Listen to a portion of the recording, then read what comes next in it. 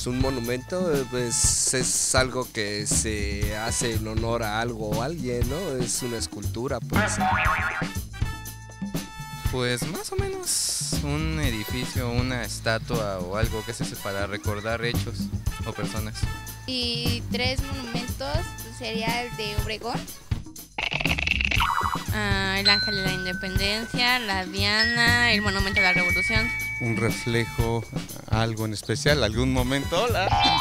Reforma ofrece mucho más que grandes edificios, bancos, comida y todo lo que ya conoces. También tiene mucha historia que contar, con los gigantes que habitan la conocida avenida desde hace más de un siglo. ¿Podrá cualquier objeto ser un monumento? Tal vez estas jaulas podrían serlo algún día. Tal vez también este sea mañana el monumento a inventario chilango. ¿Quieren saber más?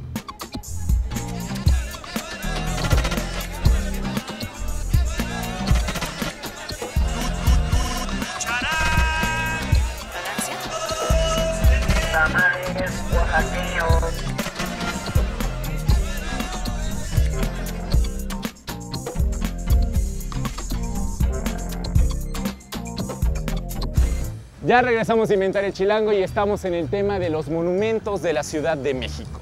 Y se preguntará usted, querido televidente, ¿qué es un monumento?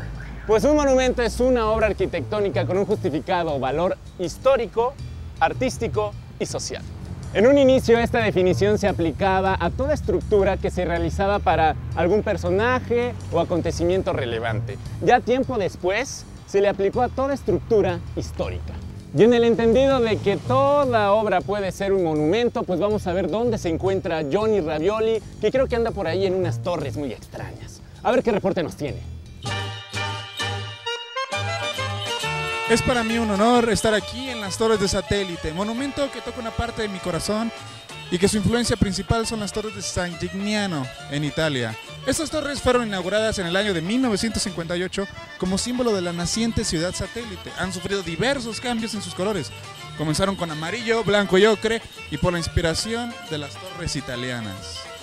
¿Qué le gusta de las torres? Pues lo altas que están. y- Están enormes, señor, no puede ser. ¿Le gusta lo altas que están? Pues sí, porque no hay más aquí.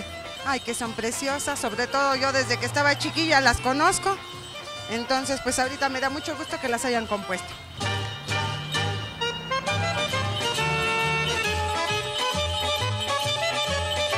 Estamos veraneando muy a gusto en uno de estos espacios, en los monumentos, los cuales, déjame decirte, pueden ser utilizados para un sinfín de cosas. Por ejemplo, ¿tú para qué utilizarías este monumento? Yo el monumento del perro, eh, pues no sé, yo creo que lo adoptaría como mi mascota, Lalo. ¿Te cae? Sí, sí. Mira, sería una mascota muy padre porque no gastaría tanto en alimento, no sé, como que no tiene mucho apetito. Y tendría la seguridad de que de ahí no se mueve. Pues es gracioso, pero también mucha gente utiliza estos espacios para otras cosas. Así como tú lo adoptarías de mascota, la gente pues a lo mejor lo usaría para vender garnachas, no sé. Para eso, para averiguarlo, vamos a ver el siguiente reportaje. Podemos encontrarnos con distintos monumentos que representan eventos y personas significativas de la historia de nuestro país y nuestra ciudad. Por ejemplo, el Monumento a la Revolución, la Victoria Alada, mejor conocida como el Ángel de la Independencia y hasta la Diana Cazadora, pero eso nos hace lo que el viento a Juárez.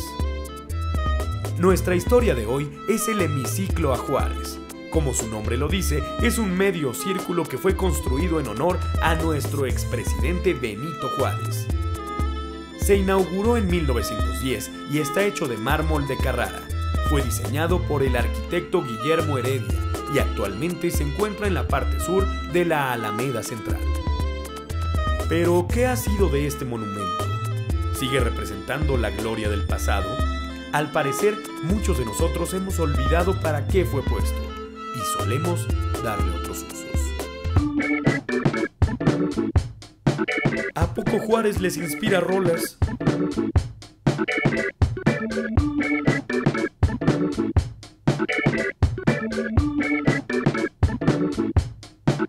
Estos sí son juegos y no las payasadas que hay en los parques.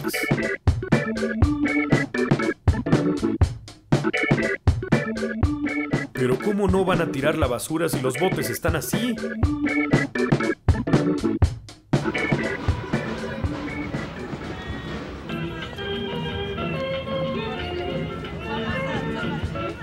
Y bueno, la mejor de todas, irnos de día de campo. Ni que el bosque de Chapultepec estuviera tan grandote. En un picnic nunca falta la familia, la diversión y hasta el perro. Al final, la historia la escriben los vencedores. Aunque el veneno no fue su amigo, lo más irónico es que este monumento sirve para clamar justicia para... no importa qué causa.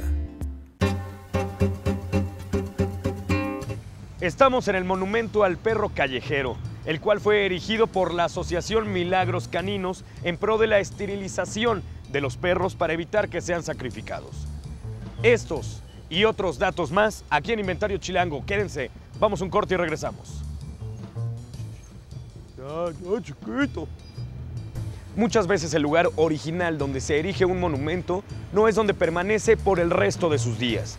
Tal es el caso del caballito de Carlos IV, el caballito de Tolsá es una estatua en bronce construida en honor a Carlos IV de España y parece que realmente cabalgó, ya que su ubicación cambió más de una vez. En 1979, por fin encontró su último destino, la Plaza Manuel Tolsá, frente al Palacio de Minería.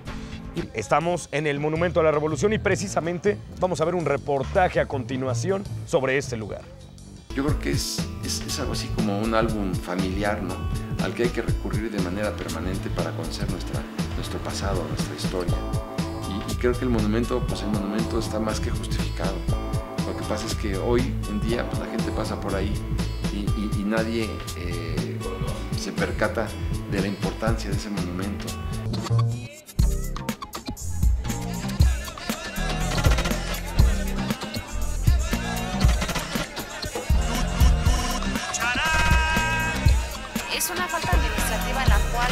solamente agarrándonos en fragancia.